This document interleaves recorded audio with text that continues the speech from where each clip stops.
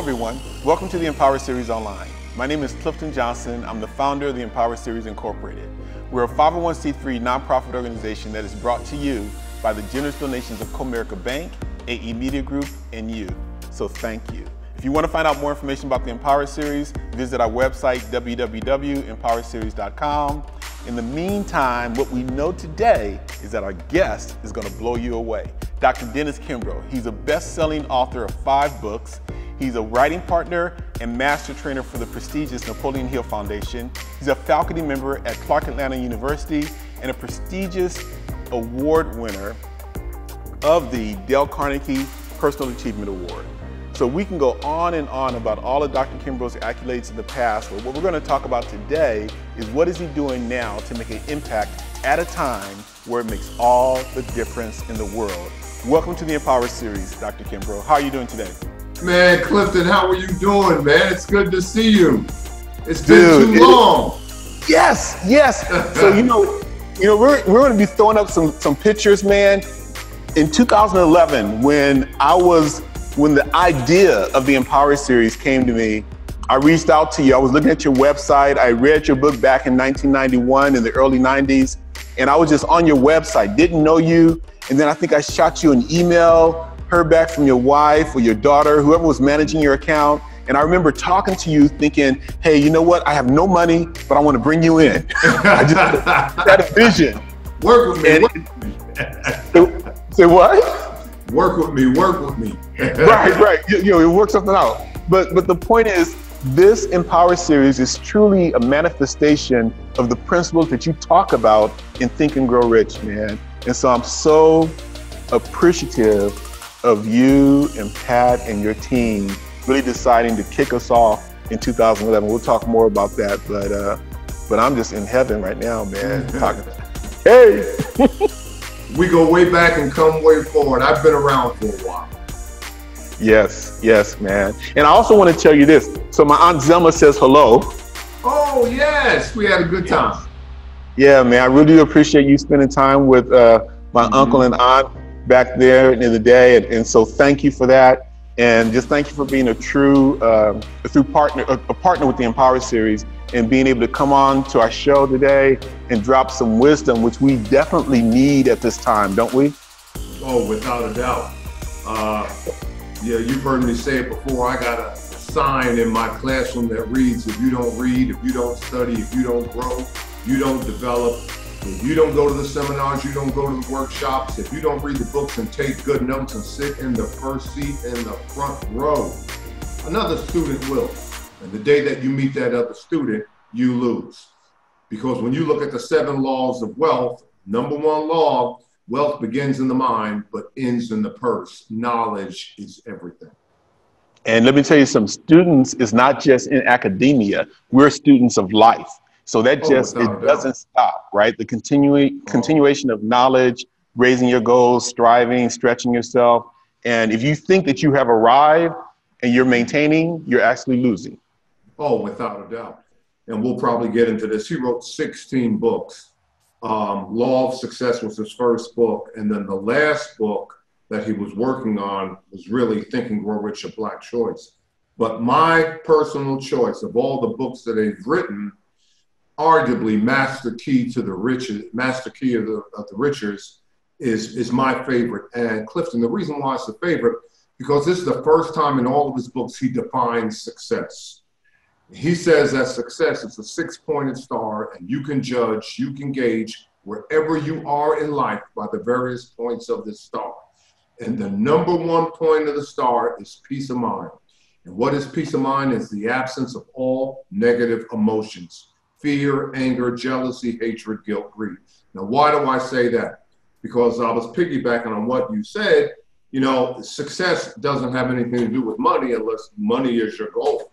Success doesn't have anything to do with wealth and achievement. It's not how much, it's not how great, it's not how long. It's basically off of peace of mind and are you making progress? Because you can't define it for other people.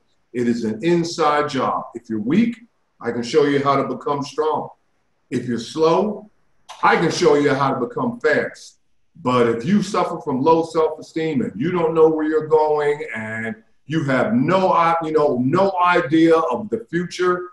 You know, that's an inside job. I tell my students all the time, and even with the pandemic and everything that's going on, this is arguably, Clifton, the best time in, in, in, the world to, to be on the planet. Why? Well, Malcolm Gladwell wrote a book called Tipping Point, and the basic summation of Tipping Point is that any problem can be solved if only enough people care.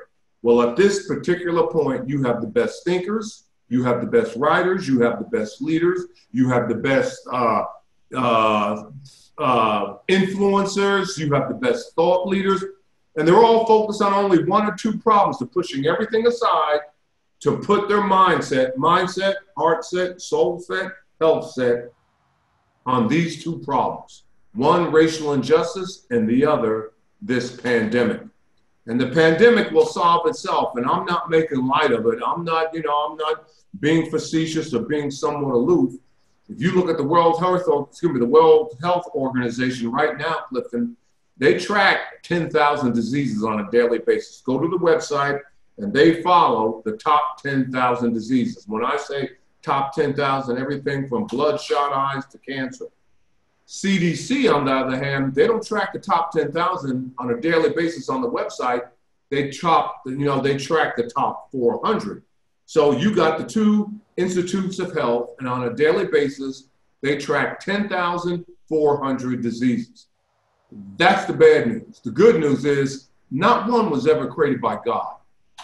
So what in the world am I saying? Well, when you look at disease, 50%, I mean, you go back to the World Health Organization, the National Institutes of Health, they will tell you that 50% of all diseases comes from the lack of adequate water. Well, that might be the only reason why, you know, the Lord blew breath into your lungs while you were placed on the planet.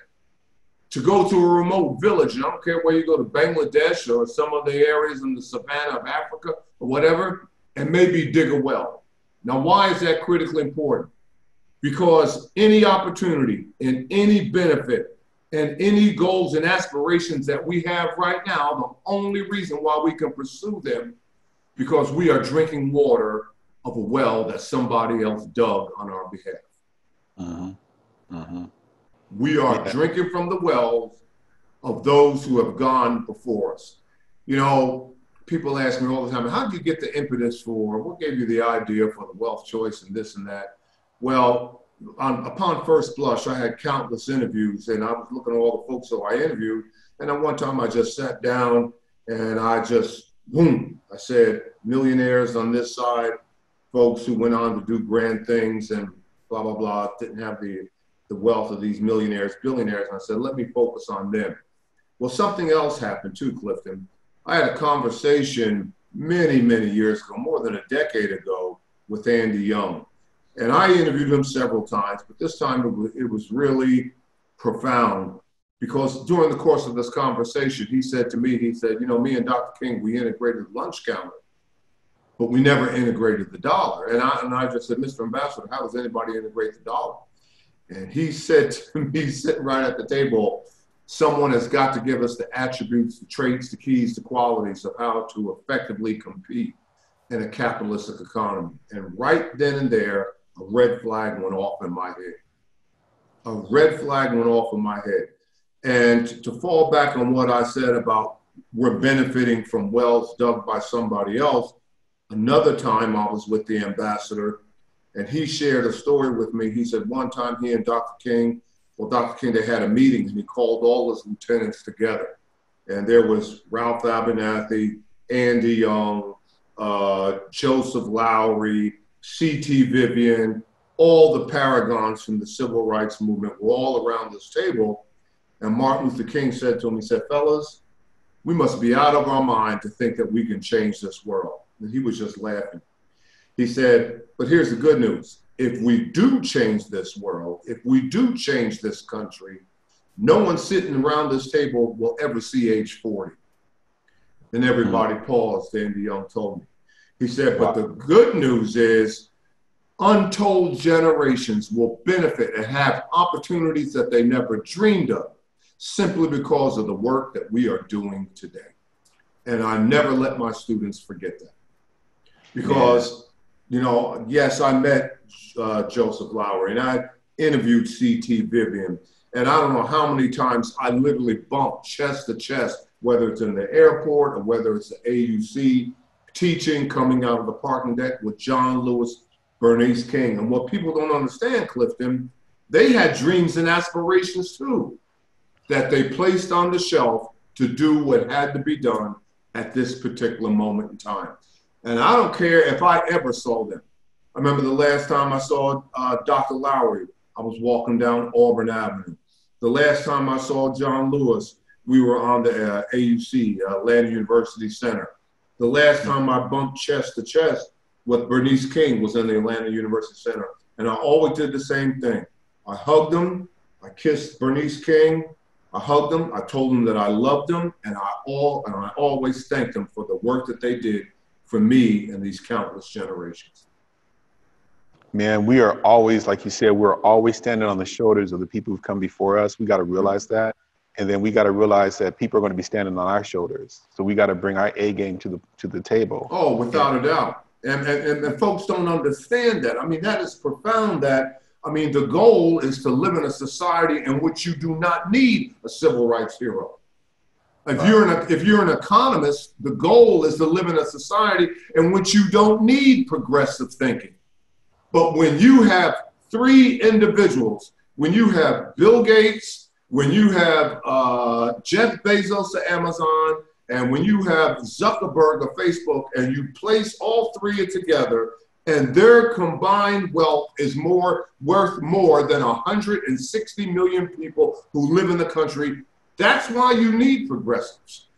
That's why you need it, because it's like the yin yang. Wherever the pendulum, how far it sweeps on one side, it's going to sweep the other side. So yeah. people don't think when they think of democracy and they think of capitalism, and there's only one capitalism, and that was the economic idea that was thought. I got the book back there in my study, man. Uh, you know, Adam Smith.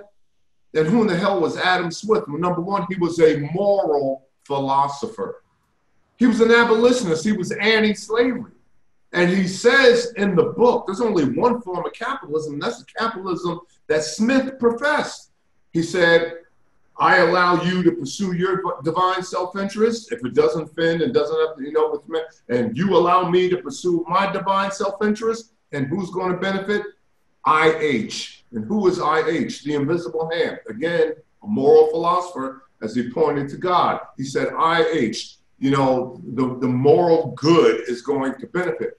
But then Smith says, as soon as you block one party from pursuing their divine self interest, it doesn't work. And that's why he said, that's why he was anti slavery. Now, I mean, we have been blocked from pursuing our divine self interest. So, really, what we live in right now is not a capitalistic economy. It's a socialism for the rich, it's a socialism for the wealthy. You know, it's. Well, let's talk. Let's talk about the beginning because you talked about when you came out of Northwestern with your um, with your degree. Mm-hmm. You said there was one thing that you wanted to find out. Why is it? You know, what's the difference between people who are living in, in poverty and the people who are living in wealth? And that was your like your your burning desire to yep. to solve that and to find that out. So tell me about the beginning, and then we'll get more into some of the principles that you discovered in your in your work? Yeah, you're going you're going back, and I'll never forget. Okay, so uh, I finished undergrad in '72, and I worked in corporate America. Uh, and that time, um, actually, wow, I'm blowing the dust off. Excuse me, off of this. I was the first black male in the rotational program for Texas Instruments in Dallas, Texas. And then I took another job I was the first black male in another rotational program for Smith Kline French, which is now uh, Smith Kline Glaxo, who are front and center working on the, uh, the vaccine for the coronavirus. So I, I, did my corporate time. In my last three years of my corporate time, I worked in, uh, I was a consultant in Chicago. So, you know, but I knew um, that I was going to go back to school and, and, work on my doctorate. And while I was at Northwestern University and Clifton, the only reason why I selected Northwestern, okay, I select, I applied to Columbia, I applied to Northwestern, I applied to University of Wisconsin, I applied to Notre Dame, and I applied to Rice University. right there in Houston. I got into all schools but Columbia. I got I didn't get into Columbia. I got rejected by Columbia. But the fact of the matter is, and this may have something to do with it, I said, do not accept me unless you're going to give me a full ride. Gotcha. I, I, knew I had the background and I knew I could handle the rigor and whatever. And so mm-hmm. everybody accepted me and gave me a full ride, a potential full ride, except Columbia. Northwestern was the best offer. And we went to Chicago. And after my first year at Northwestern, I was becoming a little bit ambivalent because right, right down the road, okay, I'm in Evanston, Illinois, but in Chicago, you have the Chicago School of Economics and I was thinking about dumping my entire first year at Northwestern so I could go to the Chicago school and study with Milton Friedman, George Stigler, James Buchanan, and the like. So mm-hmm. I so I said, no, I'm not going to do that to my wife and kids. I'm going to just stay here and I'm just going to go ahead and finish. Glad I did because the best advice that I, I got when I finished was from my committee chair. And he said to me, he said, Dennis, don't look at your degree as you know satisfying one of the degree requirements for your for your doctorate. Look at your degree look at your dissertation as your first book. And my dissertation was on wealth and poverty. And right after i was uh, endowed with the degree i turned to pat my wife and i said i know my first book. She said well i'm glad you do and i said but i want to flip the script i want to do a number of things i just want to study wealth and i want to study african americans and so um, uh, she said, Well, how long will it take? I said, Well, I got to get the data. And I'm telling you right now, it's going to be a quantitative versus qualitative study. In other words, face to face interviews. And she asked me again, How long will it take? And I said, I know I can do it in 18 months. I quit counting after five years, but that's a sermon for another Sunday. But the fact of the matter is that, um, and I wasn't doing this, Clifton, to, to be the first or this and I, I, I found out that I was the first because there was no data on there. I mean, I said, come on, man, I'm, you know, I'm looking, I'm reading articles in Ford and Ford, Forbes and Fortune and this, and then of course a few articles in Black Enterprise. But I was looking for longitudinal studies where these folks were growing over time and that, and we still don't do it. I mean, Clifton, you got 2 million black businesses out there, 95% are sole proprietorships, but you can count on one hand or, or both hands how many of them are in emerging markets. And that's right. what we need. We need businesses in emerging markets. We need businesses run by protagonists who at least pivoted once or twice. Now, why is that critically important? Because forget the Fortune 500. When you look at the Fortune 1000, I mean, they have, you take the top Fortune 5, you know, Fortune 1000 uh, businesses, and what do they have in common? They have all pivoted at least one or two times before they reach, you know, their goals and objectives. And what is the definition of pivoting? Pivoting is maintaining your strategy while you alter your tactics with no fear and no retribution about how much time and how much money you have done in the past. Some entrepreneurs will say, I can't change my tactics. I've invested too much time, too much money. And I know all about pivoting because I was two years on what makes the great great when I met W. Clement Stone in the Napoleon Hill Foundation, and he told me to push my book aside. And I was in that meeting in Chicago, and I looked at that man like he was crazy. Oh, I ain't pivoting, brother. I put too much time, too much money. My wife is sitting out the car right there in freezing November weather in Chicago. We had to borrow the money for the plane ticket, borrow the money for the hotel lodging, borrow the money for the rent a car, and I'm dirt poor right now. I'm not pivoting, brother. This this train is not stopping. So I mean, but but but that's where we are, and that's the thinking that we have we have got to have. So going back to Northwestern, that was the advice. And uh, five seconds after I was granted that degree, that was the only track that I was on.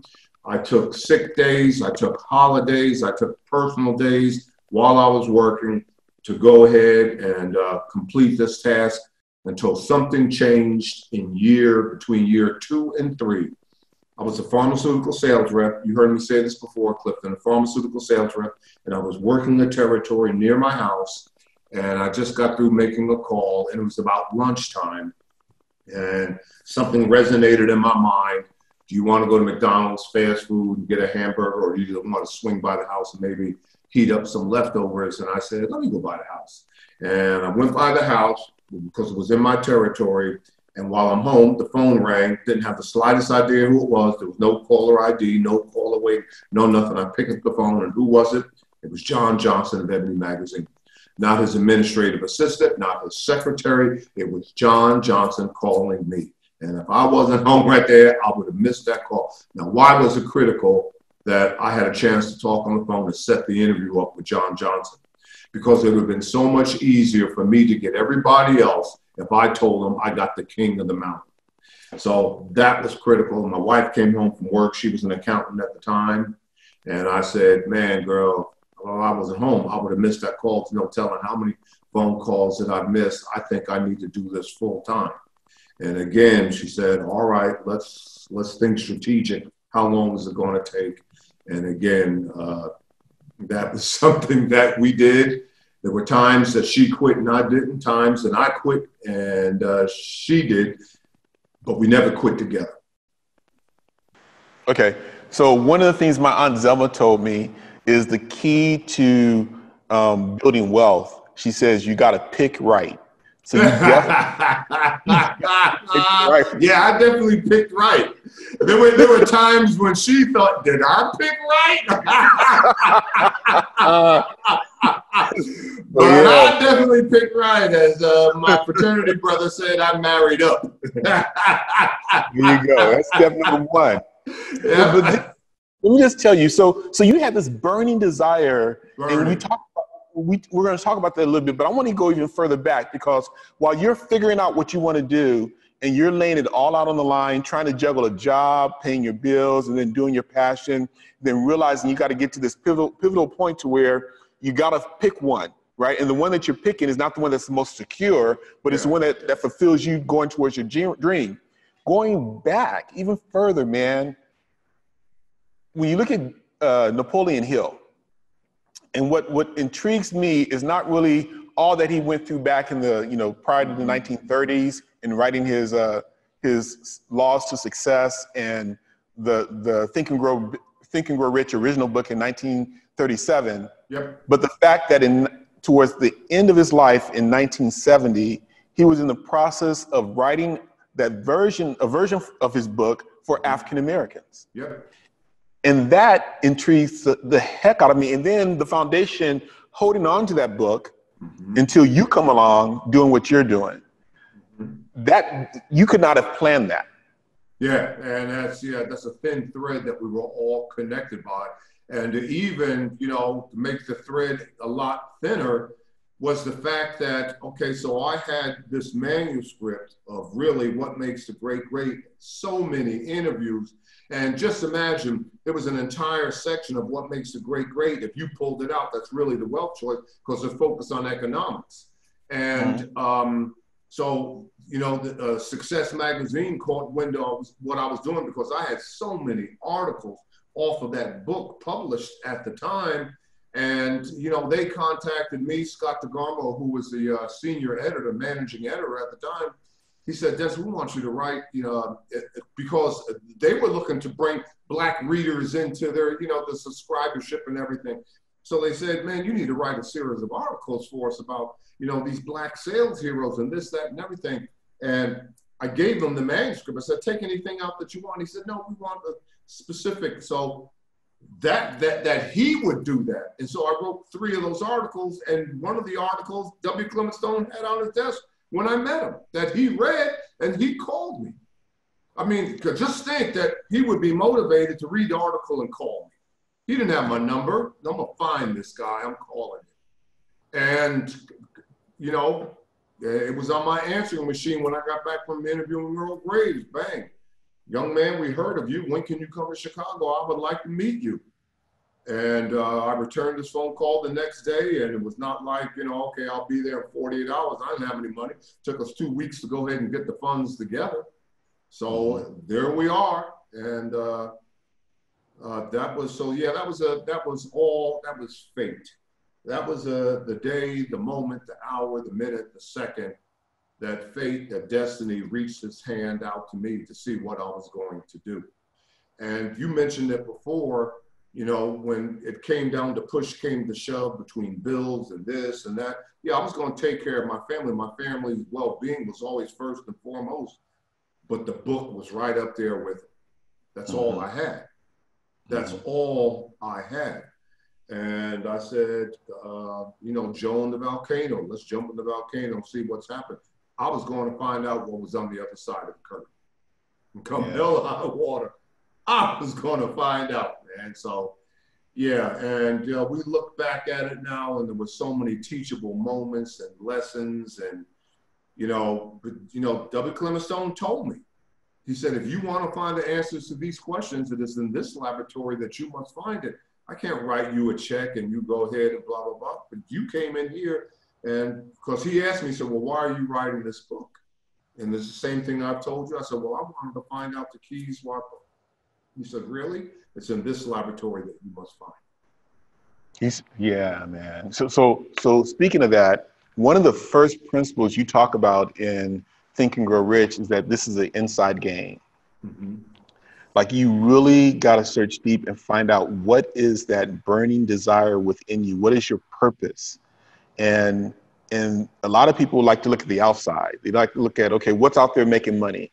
What's out mm-hmm. there? You know, what what what job is out there? What what external factor out there gives me a good feeling, and then that's what I'm going to run with, as opposed to really being quiet and doing the inside work. Mm-hmm. So so when you look at the principles that you've laid out in Think and Grow Rich, talk to me about what principles you think are the most fun, fun, fundamental principles that we all need to start with instead of going out there chasing the most shiny objects.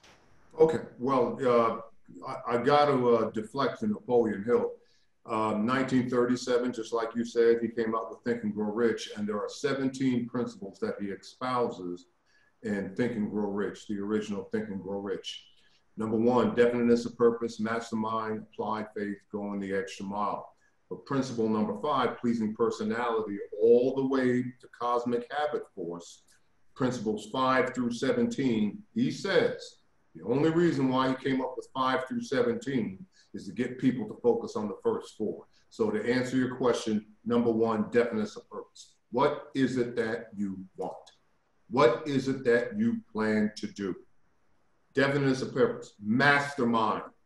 And what is mastermind? We see it all the time. If I be lifted up, you know, if two or three minds are, are joined together, it's the exponential effect. I mean, Clifton, you know all about engineering. Okay, well, there's nominal, one, two, three, four, five. Well, there's exponential. What is exponential? One, two, four, eight, 16, 32, 64, 132. Big difference. And that's the exponential effect of thinking, where you can tap into the mindset of others. Number three, definiteness of purpose, mastermind, applied faith. Faith is not an act, faith is visionary. Faith is seeing, you know, taking the first step without even seeing the staircase. Sorry, Excuse me, staircase. You know, mm-hmm. faith is believing in yourself when no one else will. It is that persistence. And what is persistence? It's the level of belief in yourself. And that's arguably, when you look at the 10 forms of wealth, one of the forms is persistence. That was the form of wealth that I was going to use. I just wouldn't quit. I yeah. just wouldn't. You know, persistence will get it for you, consistency will help you get it. You know, it's like, you know, um, you know, all, all the folks, Clifton, that we're enamored with, all the folks, the entertainers, the athletes, whoever, uh, the wealth creators that we try our best to emulate, that we look up to, that we revere. Well, at one time, Clifton, they were ridiculed, they were scoffed at. So, what in the world did they do? How in the, how in the world were they able to reach their goals and objectives? Well, they were hungry. That definite of purpose. They had a hunger. Now, 95% of people that when they're chasing their goals and dreams, yeah, they're hungry and they're using that hunger, but after they reach their goals and dreams, that hunger fades. Well, those individuals that, that we look up to and that we, you know, oh man, I could never be like you, blah, blah, blah. They're not only hungry when they reach their goals and objectives, they maintain the same hunger after they reach the peak. And what happens to them? That's when they dominate. I don't care if you look at Beyonce. I don't care if you look at Michael Jordan. I don't care if you look at LeBron. I, I don't care if you look at, I mean, Jeff Bezos. I don't care if you look at uh, Zuckerberg, whatever. Yeah, they they hit their goals and objectives, but they still got their foot on the pedal. And what are they doing? They're dominating.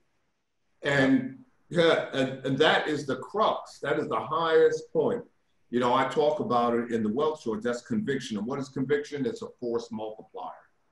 It is a force multiplier, and that leads to the passionate, committed mind, which can never be defeated. And then last but not least, definiteness of purpose, mastermind, applied faith, always going the extra mile. Always going the extra mile. The individual that does what he or she's only supposed to do, well, you get a paycheck. But the individual that goes and above and beyond what they're supposed to do, well, what do they get? Well, they get opportunity. Yeah. They get opportunity, man. Big difference.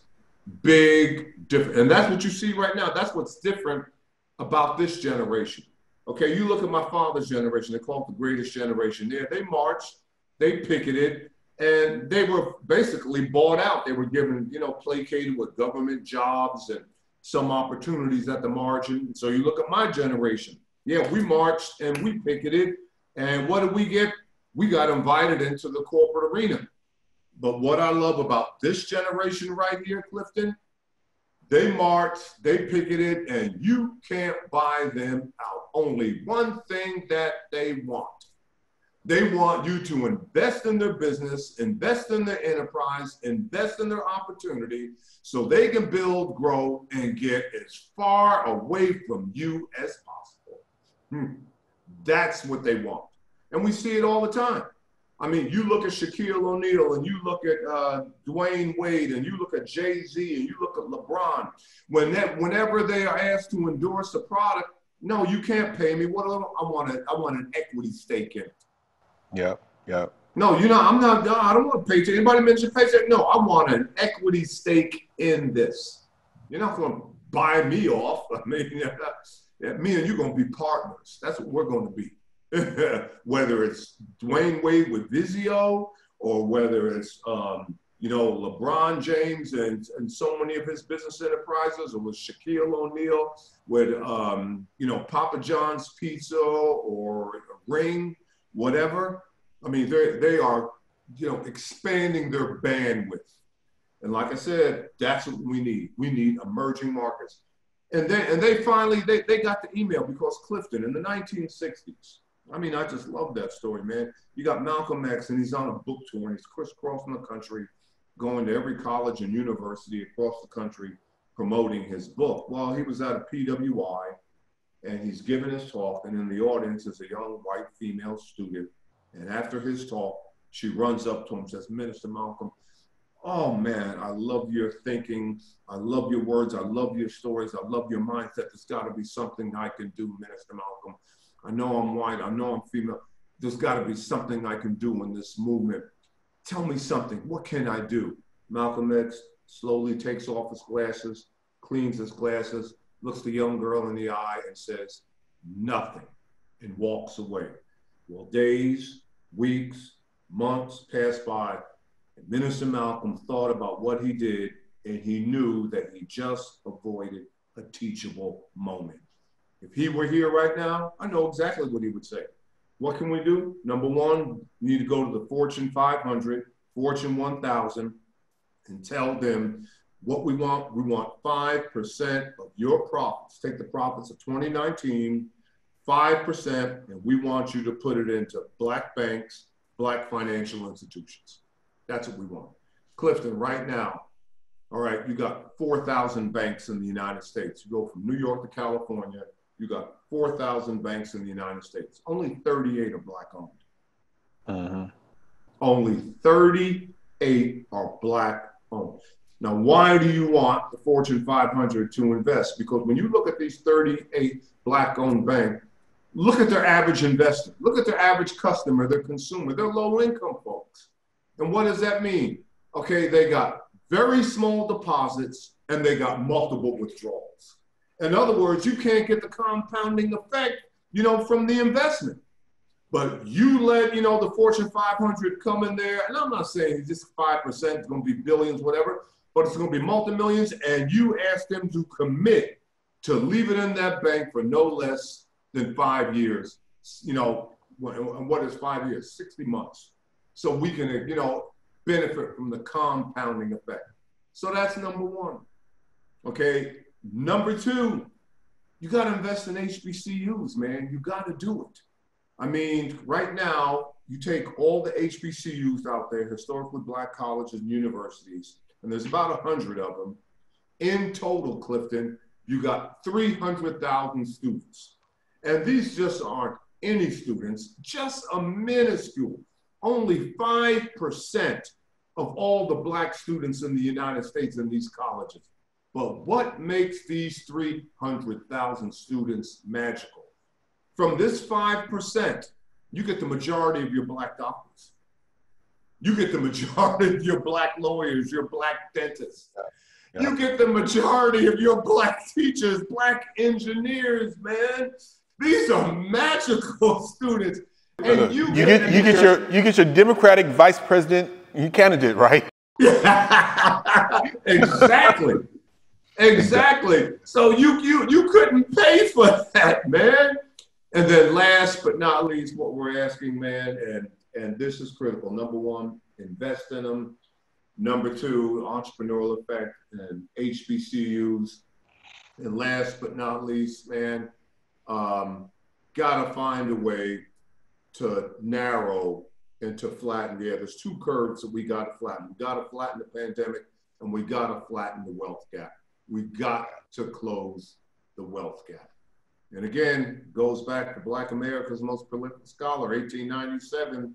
The man and woman won't control his or her finances, won't control anything else, and nothing positive will ever occur in a community that fails to circulate its dollars.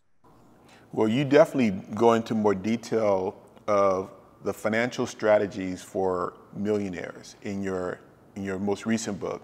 But going back to the point that you were making, the first four principles that Napoleon Hill talked about is very, you know, when I look at the Empower series and what we're doing, we definitely want to ensure that every everything that we do with all of our programming, this, workshops, everything, we want to accomplish four things. We definitely want to give people hope, hope that they can achieve whatever they envision.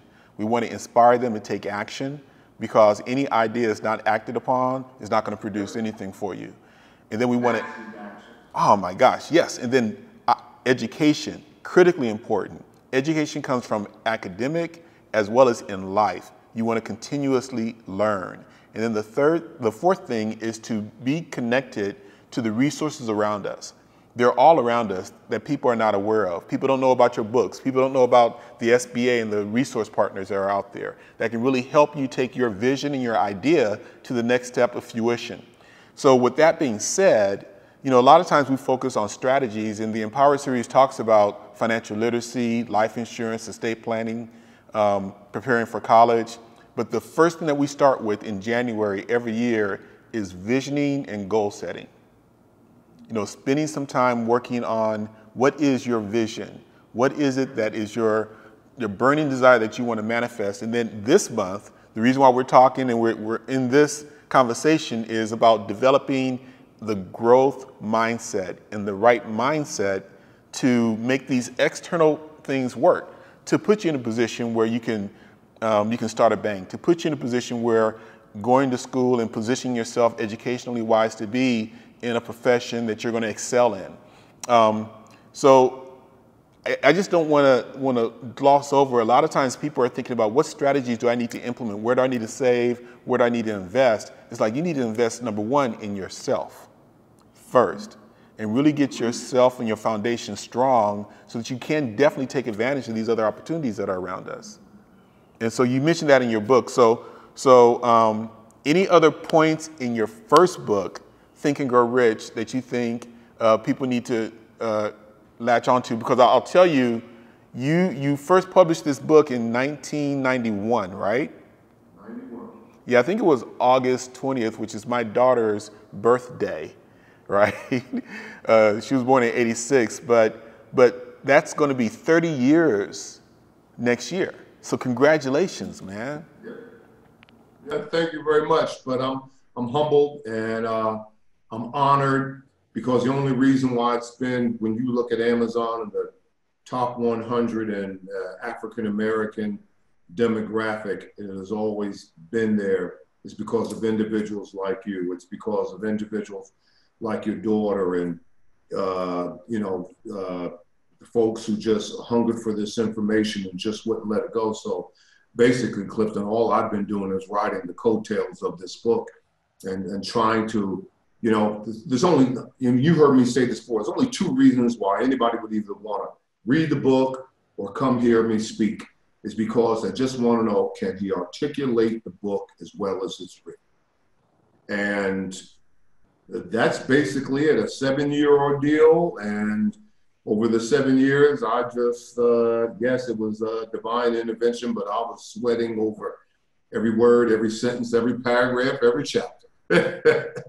well, man, let me tell you though, you, um, you definitely took the baton because Napoleon's Hill book, I think when he passed away, had sold around 15 to 20 million in the 1970s, but definitely today, well over 100 million copies have been sold. And then your book is just continuing that. They passed you the baton and you, you're doing your job. You are doing your thing and, and your passion is, is teaching. So you live in it, right? You live in your... I remember when we, when we brought you out here on a Thursday a couple of times, we, you know, right after your class, you got on a plane, got off a plane, I drove you to the event, right? hey, right when you were hot, you were hot. Man, I had to take a I had to take a five hour energy because the same way that I come across when I'm presenting with you, that's the way I am, and I got back to back classes, man. Whoa. Amen. Hey, well, I definitely want to make sure that people grab your book, Think and Grow Rich: A Black Choice. It is it is uh, relevant today, and uh, like I told you before, if you look at my book, I'm still I'm still using it and, and, and I'll tell people all the time, you know, my son, my son doesn't. It looks like my copy, man. Here's my copy right there. so, so my son uses Audible now, and I've been reading, and, and as I get older, I'm thinking, man, these the print's kind of small. So I've been listening to your book via Audible now. That's cool, man. So, but now your your most recent book, The Wealth Choice. Tell us about that. Now, there's seven, there's seven um, laws that you've come up with that uh, through your interviews with black millionaires you found, and, and a, lot, a lot of those laws are, you know, some of them are not new, but, but it's definitely an update from your 2000, or from your 1991 book. Tell us about that. Yeah, and you know, again, mentioning the fact that okay, so I had all this information on black millionaires, and I was just trying to find a way, Clifton, to validate it. And so I had a presentation at um, the Federal Reserve, and uh, a couple of the social scientists at the Federal Reserve who knew me and were familiar with my writings, they said, Dr. Kimbro, what are you working on now? And I said, well, I'm trying to, uh, you know, write this study on black millionaires, but I got a little bit of a problem. I said, what is that? Trying to find out exactly how many of them are. And they said, oh man, that's easy. They said, you got two choices at the time in Clifton. This was, this was like 2006, 2007. They said you got about 112,000 African American households with a net worth of a million or more, or you got 35,000 individuals, you know, who are certifiable millionaires based on, you know, uh, uh, first home minus assets minus liabilities when you remove all those and they really have a net worth of 4 million or more based off of the federal reserve. So you know i took that data and one day i'm teaching my business community uh, business communication class to mbas and we had a case that we were going to go into and i said uh, i told my students i said before we get in the case i got to ask a favor of you and I gave them all a mock-up of a survey that I was using. And I said, when you guys have a chance, you're the experts, you're, you know, you're a candidate to, for your MBA end of this year. Tell me if I'm on to something. Take as much, excuse me, take as much time as you need. And because I asked them 118 questions. Well, Clifton, they were so enamored in that classroom about that survey, they just scrapped my case study for that day and all the notes because I was ready to dig into it, man. I said, well, we don't talk about that case was boring anyway, man. We wanted it so. And I was just, uh, I didn't have any information, so I just had some post-it notes, and I was just taking notes for my students. And and I, I explained that in the book. I had posted notes for my students, and I put it over here, and I said, "Let me follow this and the other." So again, this was a uh, this was more uh, quantitative than Think and Grow Rich. So number one, I used a full-blown survey, 118 questions. Number two, I organized six focus groups around the country. I had one in Washington D.C. Had more than 100 uh, Black millionaires uh, in Washington D.C. I had three in Atlanta. I had one in Omaha, Nebraska. I had one in Las Vegas um, uh, for a, a, total of six. And so, last but not least, I said, Well, I need some face to face interviews. In Clifton, it was at this juncture that I absolutely positively said, No athletes, no entertainers. But when I put the list together, okay, so who am I going to go after? I had to revamp that and I had to pivot obviously there were some folks I had to include.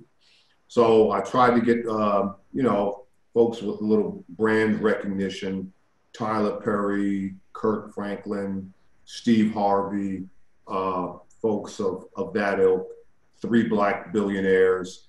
And my interviews went as long as two days.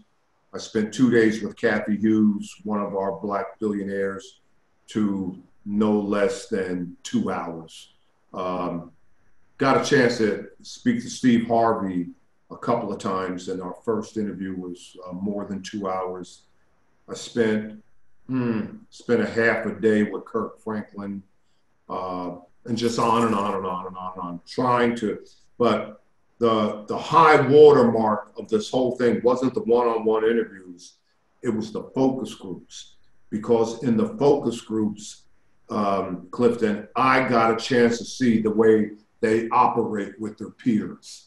I was a fly on the wall, and I got a chance to see how millionaires. And, all right, I know how you and I get together when we act. Give me some dat. Let's kick a few. Let's have, and and it was just inter- you know interesting to see how they operate with their with their peer group.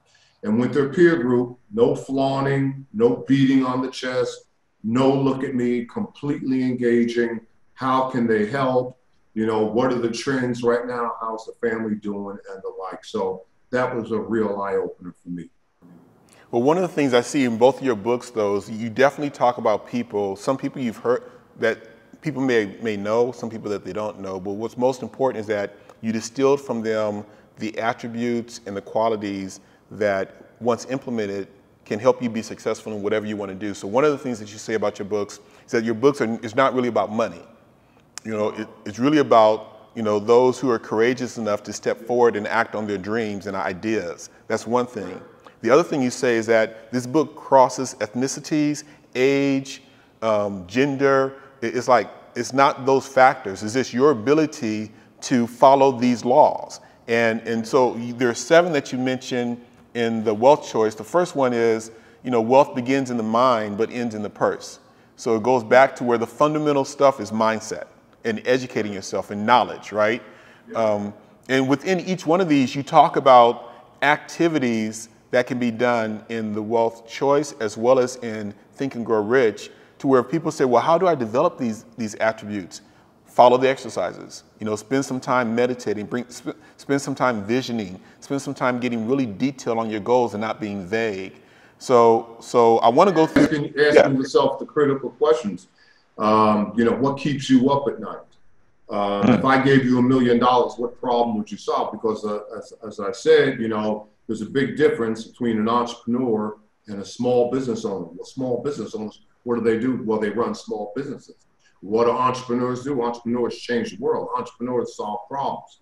So going back to one of the questions, if I gave you a million dollars, what problem would you solve? If I gave you a billion dollars, what problem would you solve? You know, the bottom line is watch for trends. You know, solve problems, solve solutions. You know, as Jack Dorsey at Twitter says, because I had a student who had a summer internship out in San Francisco. And when class was about to start, she comes bolting into my office. I can't you never believe where, where I interned. And I got a chance to meet Jack Dorsey of Twitter because he went around to all the interns, sat down at the table with them, and shared his two rules. And Jack Dorsey's two rules are number one, there are no rules at Twitter.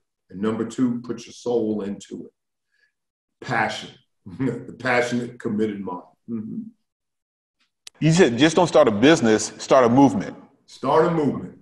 Start a movement. And so the other thing you talk about is like vow, decide right now that you will not, not be poor. Not be poor. Big difference between broke and poor. You know, broke is just a, you know a short time frame, whatever. But poor, that's a debilitating state of mind, and you must vow that you will never be poor. And just like you know Victor McFarland, poverty would have no place in my life. The poor keep score by cars and clothes. The middle class keep score by degrees and titles. But the wealthy keep score by their bank account. Vow that you will never be poor. And there are 10 different forms of wealth. Number one form of wealth is knowledge. Number three form of wealth is money. People say, how come money isn't number one? I mean, you know, because uh, as I said, you know, wealth begins in the mind but ends in the purse. Everything occurs to you twice in life the inner, the outer, the thought, the thing, the mental, the physical. But number 10 is energy. You know, use your energy. Like I said, go back to health thing. And you can see it. And I saw it in the in the focus groups. How do the wealthy, how do the, you know, the affluent, how do the, the influence, you could just see the way that they walk into the room. There's an energy to them. There's a quicken to the pace. There's a fast step will use that energy and you're going to need your energy to do big dreams. You're going to need your energy to chase bold goals. Think big, think bold, think stretch, think global, think quantum leap. But damn it, you got to think. I mean, that's the bottom line. Yeah, yeah. So your third one is believing in thyself. Believing in yourself when no one else will. What in the world am I saying?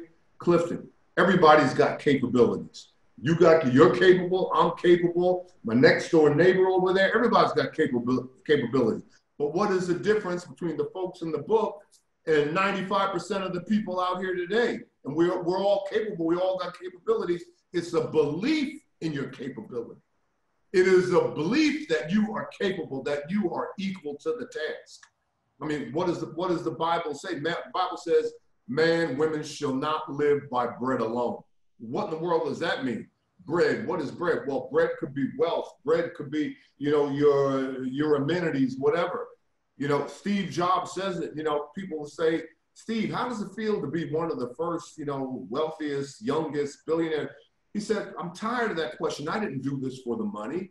And it's the same thing that I saw in the focus groups because money will not sustain you. You can't do it for the amenities. You can't do it for as you said, you know, the bling bling, whatever, because that will not sustain you. You got to have a deeper why. You got to have a bigger why. My uh, my father my father-in-law who passed away, he said this. He said, you know, you guys can be successful in whatever you want to be successful in, mm-hmm. but you got to realize that it's going to take your life, and and so you don't want to chase money because you'll find that money is not worth your life. It has to be something bigger than just money. Money can be the output, but you know when you pick what you want to be successful in, be be very careful if you're chasing money. no, without a doubt. Without so, doubt. So the, the other one is finding your unique gifts. Mm-hmm. And, and again, there's exercises that you can go through within the book that kind of helps people feel, well, how do I find out my unique gifts? Hmm. But that's that's number four. Find your unique gifts. Find your area of excellence find the number one reason why you are here. When are you going to place your fingerprints on life and prove that you you were here? And it said, you know, it's, it's somewhat introverted, but it's the easier process to do. I mean, what do you love to do? What do you have a passion for? What can you throw your whole heart and soul into?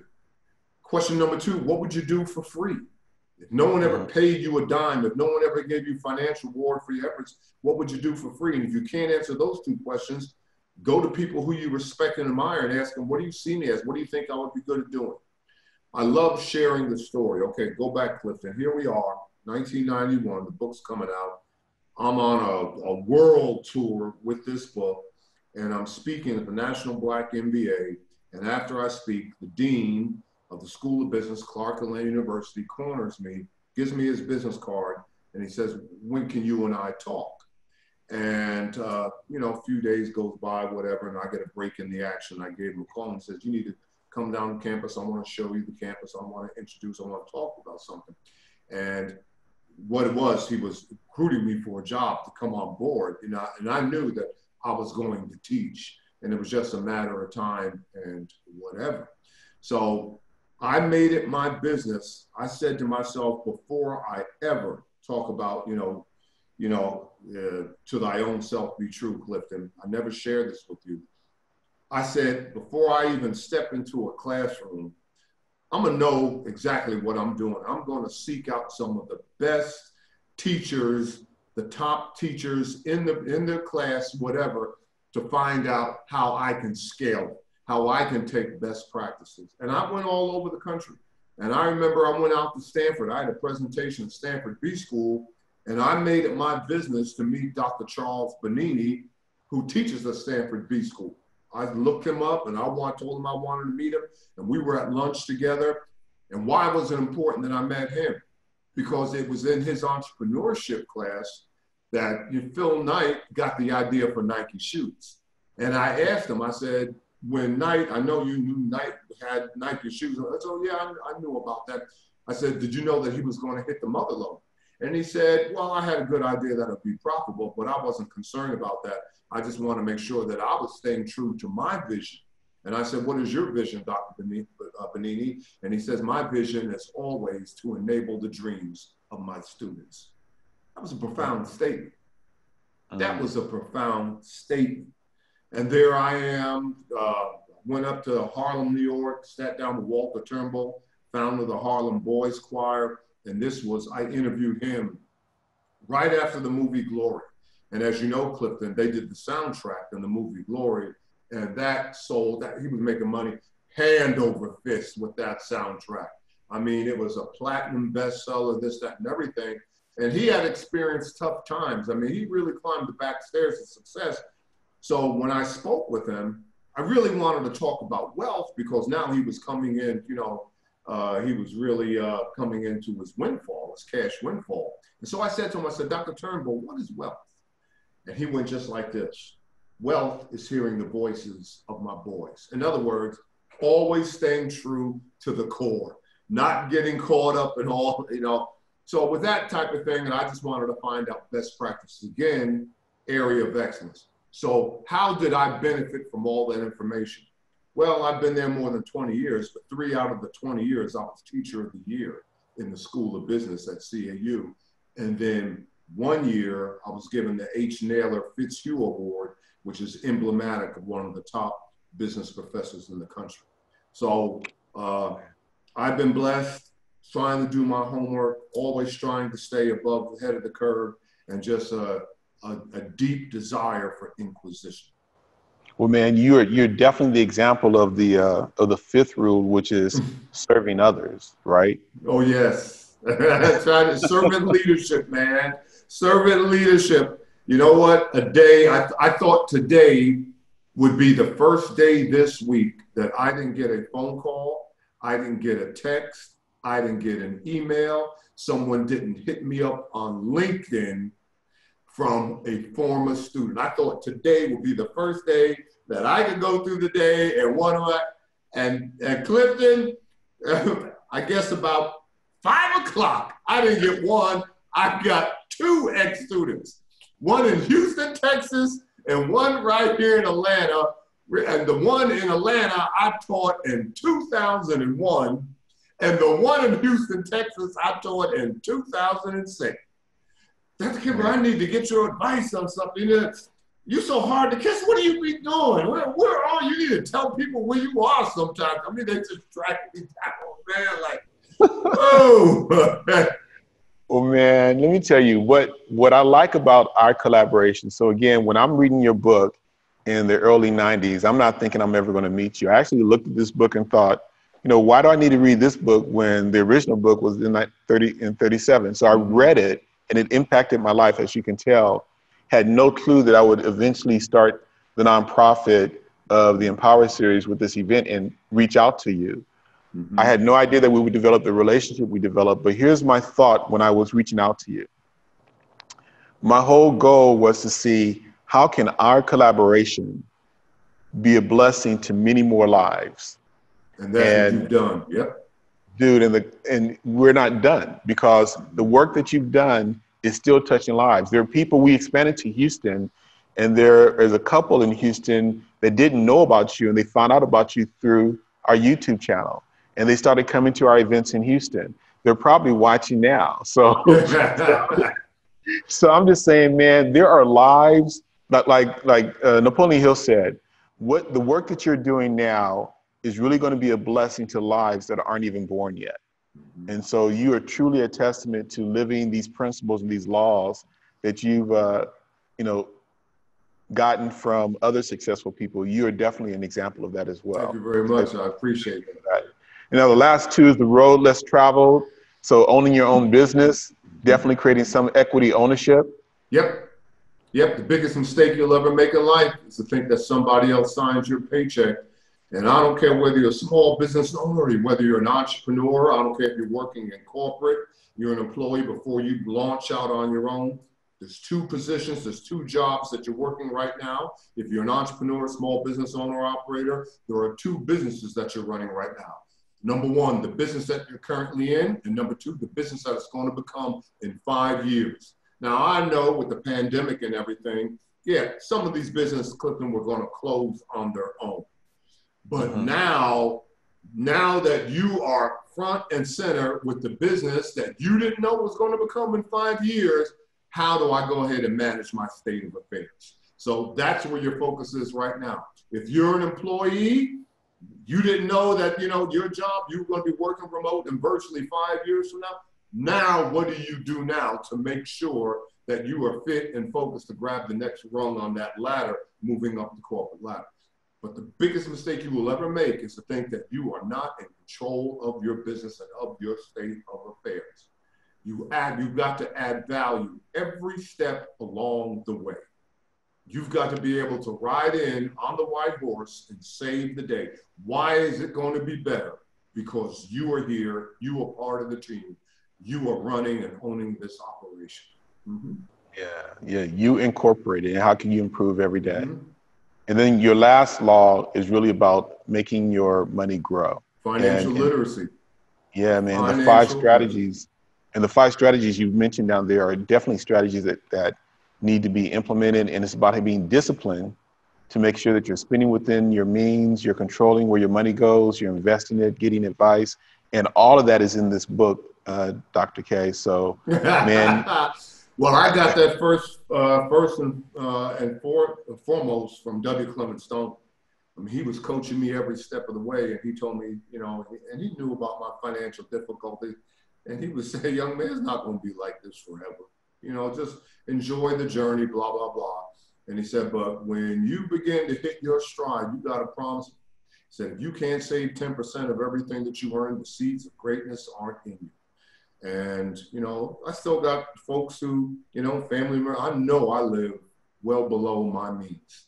Uh, mm-hmm. You look out there in my driveway and there's my Lexus SUV, you know, 2006. That car is what, 14 years old and 224,000 miles on it, Clifton.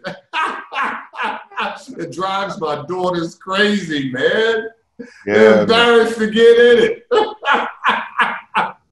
Hey, my my uncle and aunt are, you know, they are professors, right? Mm-hmm. And uh, I, I, talked about her writing a book about her principles of success. So number one, she said is pick pick the right. You got to pick your right mate. Number one, mm-hmm.